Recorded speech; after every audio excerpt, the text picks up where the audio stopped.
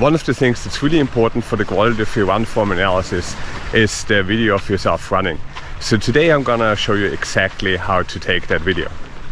You wanna take the video from roughly about hip level. So a great way to achieve this is to have a tripod on which you can mount your phone. Even if you don't have a tripod, you can usually find an object to place your phone against to keep it upright while recording the video. Please don't place the camera on the ground, it creates really extreme angles uh, that are difficult to analyze.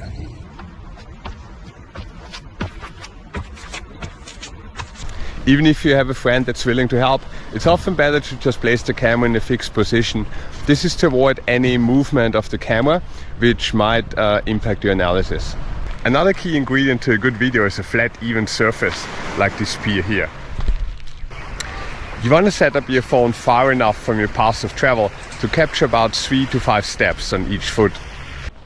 As you place the camera, it's really important that it's absolutely horizontal and also that you run strictly parallel to it, so not at an angle away from it or towards it.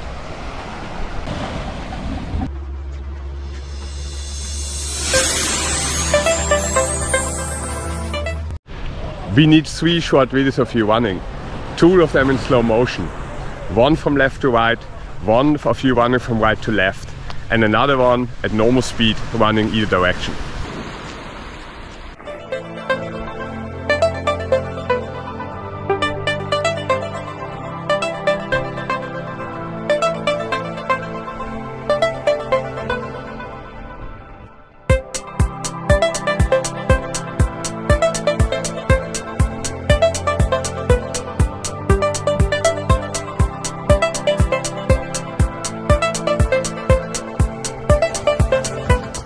Using slow motion gives us more information in the video. We have more pictures per second to make sure that the analysis is really accurate.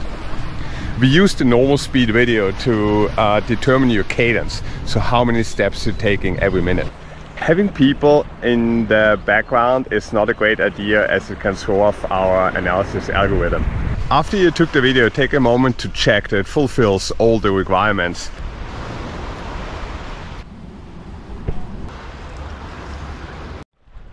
We're looking forward to receive your video for your run form analysis.